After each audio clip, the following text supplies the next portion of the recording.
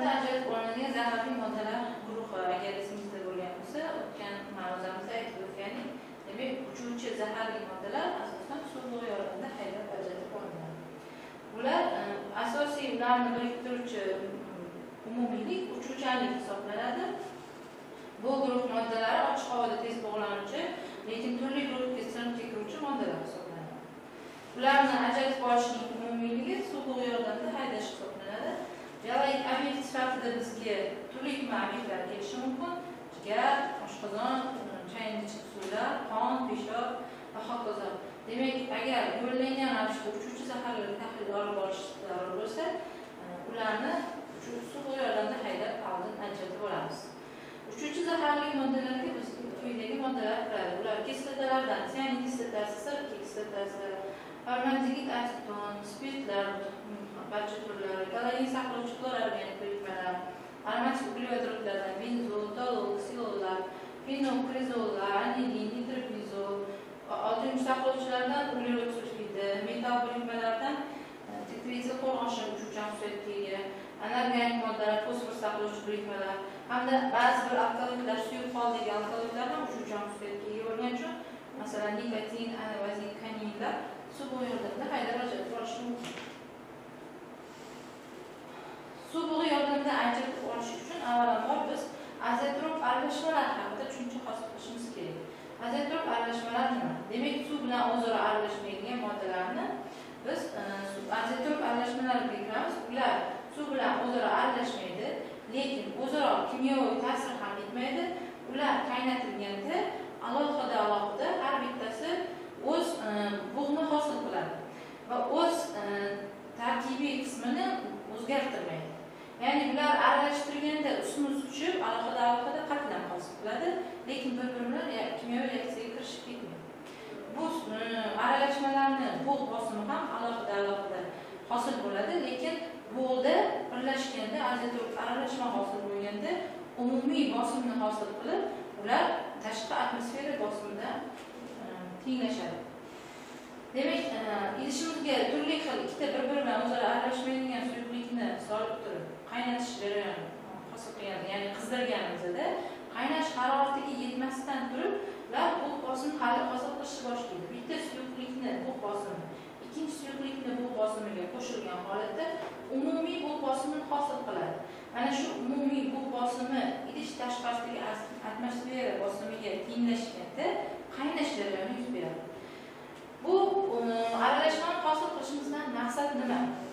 Bu aralashmani hosil qilishimizdan maqsad biz uchuvchi zaharli moddamizni o'zining qaynash haroratidan pastroq bo'lgan haroratda haydab ajratib olishga erishishdir ya'ni agar bizning qidirayotgan uchuvchi zaharli moddamiz o'z qaynash haroratiga yetib turib bug'iga o'tsa u parchalanib boshqa moddaga aylanib qolishi mumkin yoki umuman obyektda qolib ketib haydalmay qolishi mumkin.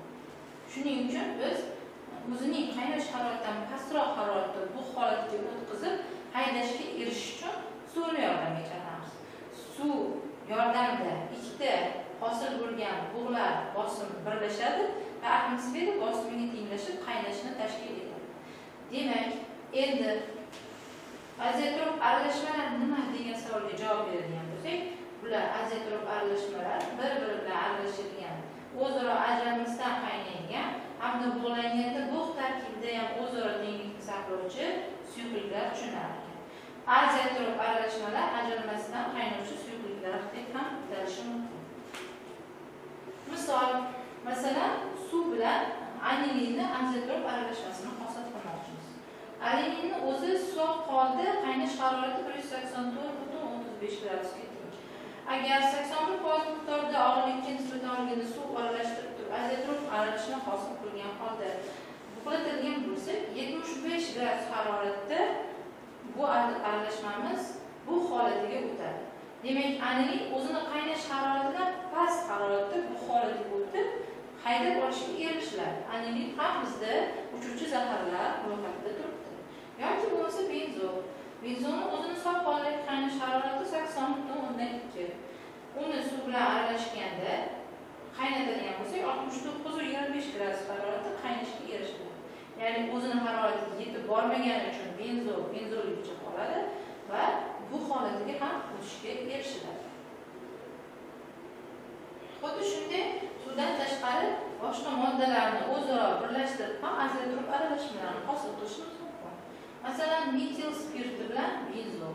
Bu yerda benzol uchun metil spirti azotrop aralashma hosil qiluvchi modda o'ttiz to'qqiz foiz miqdorda demak metil spirtini o'zini qaynash harorati oltmish to'rt yetti benzolni qaynash harorati sakson butun o'ndan ikki bo'lsa ikkalasi aralashganda ellik sakkiz butun o'ttiz to'rt gradusda qaynaydi bu ikkala modda uchun ham past haroratdagi qaynash harorati berishadi xuddi shunday boshqa moddalar ham shu tartibda. Ana endi biz asbobimizni ko'rib chiqadigan bo'lsak suv bug' yordamida haydash asbobi nimalardan tashkil topgan? Demak eng avvalo tagi yumaloq kolbaga distillangan suv solinadi. Birinchi shtativga tagi yumaloq kolbani to'g'ridan to'g'ri olib yoqiladigan qilib o'rnatiladi. Ikkinchi shtativimizda yana bitta tagi yumaloq kolbaga obyekt solinadi. Obyektimizni ustiga bot qog'ozi bo'lguncha suv obyekt maydalangan bo'lishi kerak. Hamda uni past sharoitini ikki ikki yarimga keltirguncha oksalat kislota eritmasidan qo'shiladi. Nima uchun? Oksalat kislota eritmasini qo'shishimizdan maqsad past ikki ikki yarim sharoitga kelganda bizni zaharli moddamizni oqsillar bilan hosil qilingan bog'lar uzilishga uchraydi va zaharli moddani ajralib chiqishi obyekt tarkibida yaxshi natija berishadi ana shuning uchun uni sharoitini keltirib olib suv hammomiga o'rnatamiz. To'g'ridan to'g'ri oluvchi emas. Suv hammomida suv qaynash natijasida kolbani hamma devorlariga baravar issiqlik yetkazib borishga erishiladi. Agar bu yerda biz to'g'ridan to'g'ri tekdan olib yoqadigan bo'lsak pastda turgan bizning obyektimiz kolbani tagiga yopishib kuyib ko'mirga aylanib qolishi mumkin. Shuningdek suvimiz qaynamasdan turib bu yerdagi obyektdagi suyuqlik qaynab ketishini oldini shuning uchun ikkala olov baravar yoqiladi.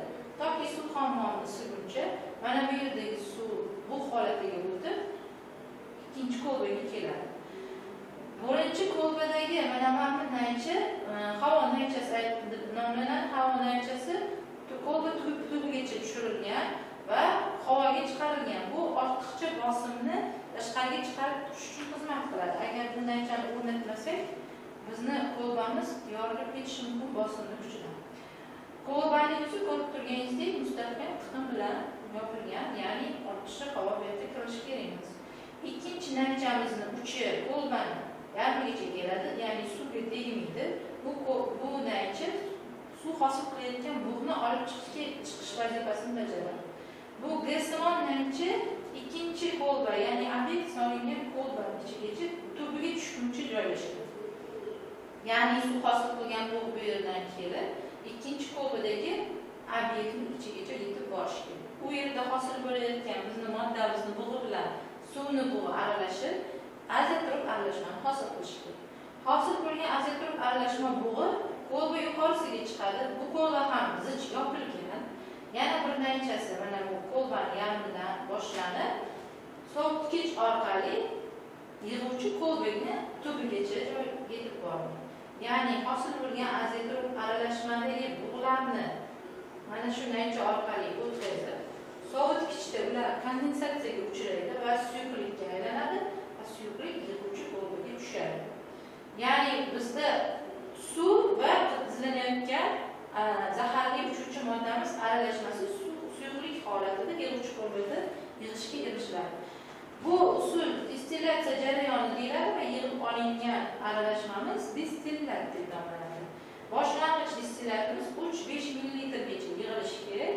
Bu 3-5 ml birinchi distillatda suyanib kislotasini tahlili olib boriladi. Keyin ikkinchi distillat 20-25 ml gacha yig'iladi. Qolgan uchuvchi zaharli moddalar ana shu ikkinchi distillatdan yig'iladi. Hammasi bo'lib uchta distillat yig'ib olinadi. Yig'uvchi kolbamizni birinchi distillatni yig'ib olishda ishg'ol etmasdan qo'yishimiz kerak. Ya'ni natriy yoki kaliy ishg'olini solib qo'yishimiz kerak. Nima uchun? Biz aytganimizdek birinchi distillatda tez uchuvchan holatda sianid kislotasi uchib o'tgani sababli mana bu yerdan yig'uvchi kolani ajratib olayotganimizda biz yo'qotishimiz mumkin qidirayotgan moddamizni. Shuning uchun uni tuzga aylantirib qo'yish maqsadida ishqor qo'shib qo'yish kerak. Ya'ni natriy e, va siyan bu yerdan natriy siyanid tuzi holatiga o'tib o'z uchuvchanligini yo'qotadi va biz tuz holatdagi siyanidlarga tahlil o'tkazamiz endi bevosita siyanik kislotasiga to'xtaladigan bo'lsak siyanik kislotasi sof holda gaz rangsiz suyuqlik holatda bo'lishi mumkin. Bu e, kaltavatdagi izomer shakli izotsion holatiga o'tib turadi. Izotsion siyanik kislotadan ham kuchliroq zaharli modda hisoblanadi. Siyanik kislotasi o'zi tez dissotsiatsiyalanuvchi u e, nihoyatda tez gidrolizga uchraydigan modda va u e, suv bilan aralashganda e, darhol tahlil qilish bo'lish qilishimiz uchun yo'qotib qo'yishimiz mumkin boshqa eruvchan moddalarga o'tib qolishi mumkin. Shuning uchun biz birinchi distillatdan siyanidni aniqlashimiz kerak. Tabiatda siyanid kislota tuz holatida ba'zi bir mevalarning danaklarida uchraydi. Masalan olcha olma kurik ko'proq bodomda achchiq bodomda ko'p uchraydi xalq xo'jaligida qishloq xo'jaligida sianin tuzlari dezinfeksiya sifatida e, dezinfeksiyalovchi moddalar tarkibiga kiruvchi sifatida ishlatiladi. Hamda bu do'konlarda oltin va kumushlarni buddalardan ajratib olish maqsadida qo'llanadi ya'ni oltin va kumush siyanidlar bilan kompleks birikmalar hosil qiladi. Turli aralashmalar holatida qazib olingan oltinni ana shu kompleks holatida ajratib olish uchun qo'llanishi mumkin ana shu jarayonda ishlaydigan ishchilar siyanid bug'lari bilan ya'ni changlari bilan zaharlanib qolishligi mumkin. Demak tabiatda u mm, achchiq bodomda uchraydi deb aytdik ya'ni achchiq bodomda glikozid ko'rinishda amigdalin bo'ladi mag'zda ana shu amigdalin e, emulsin deb ataluvchi e, ferment ta'sirida parchalanib sianin kislotasini benzoik kislotasini hamda glyukozani hosil ana shu sianin kislota ajralib chiqqan sianin kislota insonni zaharlanishiga olib kelishi mumkin. Farmatsevtika sohasida e, achchiq bodom suvi qo'llaniladi. Nol bir foizli sianin kislota saqlaydi. Ana shu achchiq bodom suvini ham to'qson millilitrgacha ichib qo'ysa zaharlanish vujudga kelishi mumkin. Bu oxir oqibat o'lim bilan tugaydi. Sianin kislotasi juda zaharli modda bo'lgani uchun uni toksikologik jihatdan o'rganilganda zaharlanish jarayoni uchta bosqichdan iborat ekanligi ko'rsatilgan. Ya'ni avvalo sianin kislotasi nafas yo'li yoki qisman teri orqali organizmga tushishi mumkin. Tuzlar holatida bo'lsa organizmga og'iz orqali tushishi mumkin ya'ni e, achchiq bodom mag'zini yeb qo'yishi mumkin. Organizmga tushganda e, nafas olish jarayonida qatnashuvchi sitoxrom oksidaza fermentini ishdan chiqaradi. Ya'ni sitoxrom oksidaza fermenti organizmga kelib tushgan kislorodni qondan to'qimalardagi hujayralarga olib o'tish vazifasini bajaradi ana shu ferment ishdan chiqarsa kislorodni qondan hujayraga yetkazib beruvchi yo'l buzilgani sababli hujayralar kislorod bilan ta'minlanish buziladi. Bu jarayonda inson xuddi nafas yetishmovchiligi nafas falajligi kabi bo'g'ilib bo'lishi mumkin. Nol butun nol besh nol bir gramm dozadagi sian kislota odamni o'ldirishga yetarli doza achchiq odam mag'zini qirq oltmish donasi katta inson uchun o'n o'n ikki donasi yosh bolalar uchun o'ldiruvchi doza hisoblanadi. Demak zaharlanishni to'rtta davrda birinchi bosqichda qattiq bosh og'rishi bosh aylanishi ko'ngil aynish yurakni tez urishi darmonsizlanish ko'z xiralanish kabi belgilar kuzatiladi. Ana shu davrda tez tibbiy yordam ko'rsatilsa insonni qutqarib qolish holati bo'lishi mumkin. Lekin ikkinchi davrga o'tish vaqti ham juda qisqa hisoblanadi. Ikkinchi davrda nafas olish qiyinlashadi. Bemorda qo'rquv paydo bo'ladi. Ya'ni xuddi kislorod yetishmovchiligidagi e, his tuyg'u hosil bo'ladi. Lekin bu jarayonda hushi o'zida bo'ladi. Uchinchi davrga o'tganda hushi yo'qoladi va zaharlangan odam asta sekin tirishish boshlaydi muskullar tirishadi. To'rtinchi davrda nafas olish jarayoni butunlay izdan chiqib to'xtab holati yuz beradi. Murdani olib kelib patologoanatomik e, ko'rinish tahlillar o'tkazilganda yorilganda hech qanaqa alohida alomat belgilar ko'rinmaydi faqatgina ichki organlar va miya sohasida kuchli achchiq bodom hidi kuzatilishi mumkin. Chang kislotani metabolizmi ya'ni ob'ekt tarkibida oltin go'sht saqlovchi moddalar bo'lgani uchun e, qand birikmalari bo'lgani uchun u radonit holatiga o'tadi demak siani kislotani o'zi uning birga uni rodolitlarini ham izlash kerak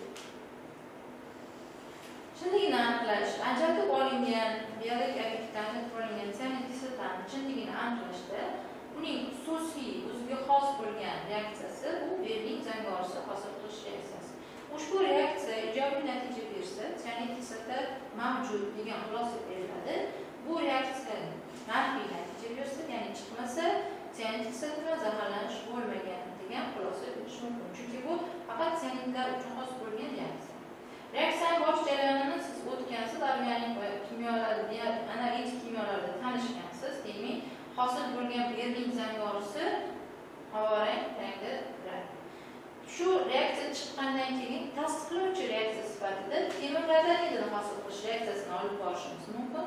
Temir radonidini hosil qilish uchun demak ajratib olgan distillat birinchi distillatimizga polisulfit qo'shib qizdiramiz.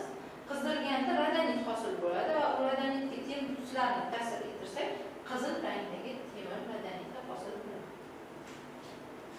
Barcha reaksiyalar tasdiqlangandan so'ng sionit uchun miqdoriy tahlil o'tkaziladi bir qancha miqdoriy tahlil usullari bor korxona havosida sionitlar bilan ishlaydigan korxonalarda havoni tarkibidagi sionitlarni aniqlab turish maqsadida e, turli xildagi indikator qog'ozlardan foydalanish mumkin indikator qog'ozlar yoki benzinning ko'ki yoki naftalin shimdirilgan holatda hamda mis sulfatdan shimdirilgan holatda bo'ladi mana shu reaksiya jarayoni natijasida havo tarkibidagi sianin kislotasi miqdori oshib ketsa fenaftalin o'z rangini o'zgartiradi ya'ni rangsiz holatdan pushtirang o'tadi va benzinning ko'k tusga kiradi ana shu indikator ishqoriy erimizdan o'tkazilib turib hosil bo'lgan suyuqlikni berilgan zangorisi hosil bo'lish reaksiyasida bilan tasdiqlab olish endi agar obyekt tarkibida aniqlash kerak bo'lsa miqdorini hajmiy e, argentometrik usul bor va og'irlik usuli bor. Hajmiy argentometrik usuli chirimagan obyektlar uchun chirigan obyektlar uchun og'irlik usuli qo'llaniladi nima uchun? Chunki chirigan obyektlar tarkibida vodorod sulfid hosil bo'lishni boshlaydi va u bizga xalaqit beradi. Shuning uchun bunga og'irlik usulini qo'llaymiz chirimagan obyektda hali chirish jarayoni boshlanmagan va vodorod sulfid hosil bo'lmagan holatlarda argentometrik usulini qo'llashimiz ham mumkin. Demak chirigan obyektda og'irlik usulida hosil bo'lgan oxirgi kumushni og'irligini tortish yo'li bilan aniqlaymiz. Korxona havosidagi sionit kislotasi miqdorini aniqlashga yana bir e, tahlil usullaridan biri bu kalorimetrik usul tavsiya etilgan pikrin kislotasi yordamida qo'ng'ir qizil rangga kiruvchi usul. Yoki bo'lmasa radonit hosil qilish orqali temir tuzlar yordamida e, qizil rangda o'tuvchi intensivlikni aniqlash uchun kalorimetrik usul bo'ladi ranglarni hosil bo'lgan intensivligi asosida kalorimetrik usulda miqdoriy tahlil o'tkazish mumkin. Yana bitta miqdoriy tahlil usulimiz bor gaz suyuqlik xromatografiyasi bu uchuvchi zaharli moddalarni barchasiga qo'llash mumkin bo'lgan usul. Ehm, ham chinligini ham miqdorini aniqlashda qo'llash mumkin. Gaz suyuqlik xromatografiyasi usulini o'zi haqida alohida mavzuda to'xtalib o'tamiz. E'tiboringiz uchun rahmat.